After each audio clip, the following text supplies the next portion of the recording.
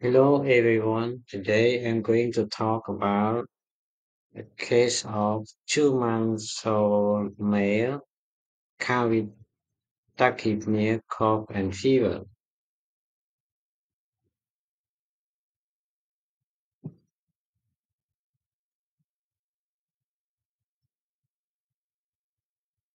So here is his frontal chest X-ray. So we can see bilateral lung opacity more prominent in both lung in the lower lobe and the heart is in normal upper limit size and the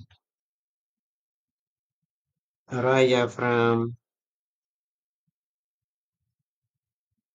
probably is uh, inflated. Otherwise is unremarkable.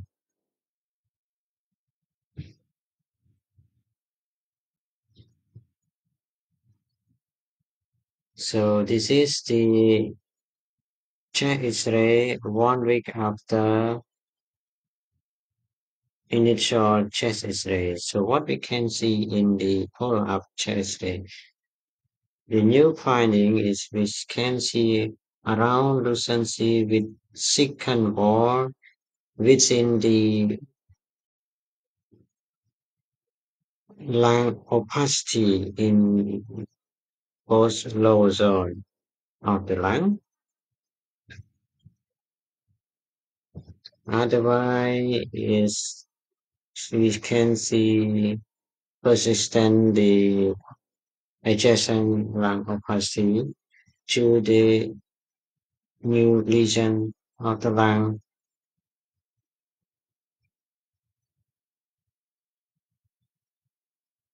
And this is the two month later of chest X-ray.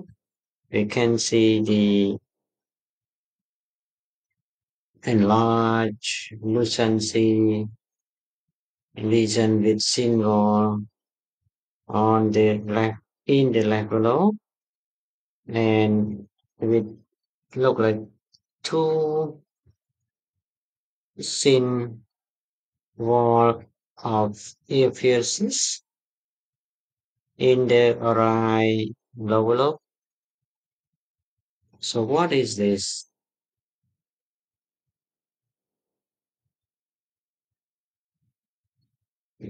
What are these lesions?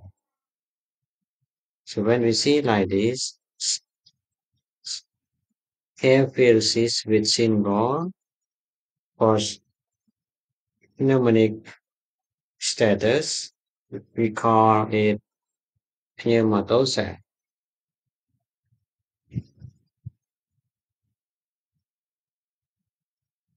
So the following theory have been proposed as to be to the mechanism of post-pneumonic pneumatocele formation. However, the exact, exact mechanism remain controversial.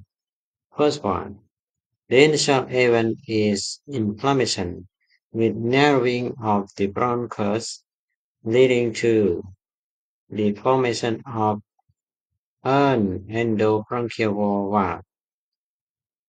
Ultimately, the bronchi- bronchial obstruction lead to the distal dilatation of the bronchi and valve alveoli.